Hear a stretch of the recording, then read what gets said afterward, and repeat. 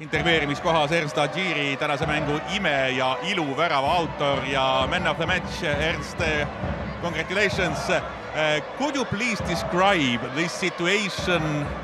How, what did you see? What did you think? And how what was it?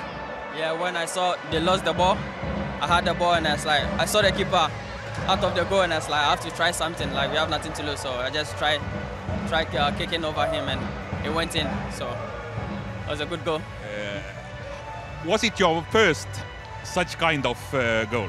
Yeah, this is my first uh, kind of goal. Yeah, I scored some beautiful goals, but this is my most favorite one.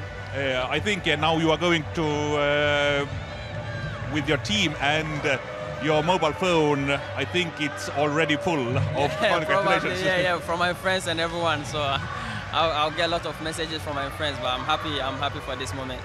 Thanks a lot and enjoy. Thank you very much.